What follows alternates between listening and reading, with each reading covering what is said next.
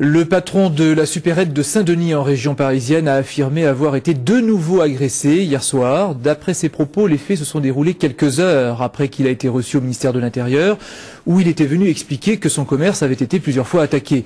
Il avait d'ailleurs reçu l'engagement d'une présence policière renforcée. Les détails avec Pierre Nicolas et Daniel Petit-Queno. C'est un homme diminué physiquement et moralement qui était reçu hier au ministère de l'Intérieur, place Beauvau. À sa sortie, après avoir reçu l'assurance que sa personne et son commerce seraient protégés, il avait finalement décidé de ne pas baisser le rideau de son établissement.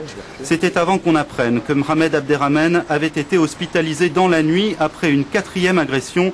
Depuis qu'il a repris en juin ce petit supermarché de Saint-Denis dans la cité des Francs-Moisins, le nouveau gérant a été battu deux fois à coups de barres de fer et de battes de baseball, comme on le voit ici sur ces images de vidéosurveillance.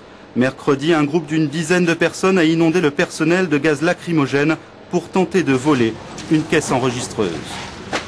Nous, on nous agresse parce que on baisse pas les bras, on les laisse pas voler. Et ça, ça les dérange beaucoup, ces gens-là. Les langues commencent à se délier dans le quartier où des associations ont lancé une pétition pour défendre le commerçant Selon beaucoup d'habitants, la peur avait poussé le précédent gérant à se taire et à accepter les vols commis par les jeunes sans broncher. J'ai entendu dire, de toute façon, on a abattu OD, on les a mis faillite, ceux-là, on va les faire pareil. Et ça, franchement, c'est dégueulasse. On n'a rien sur le, sur le tour, vous voyez rien.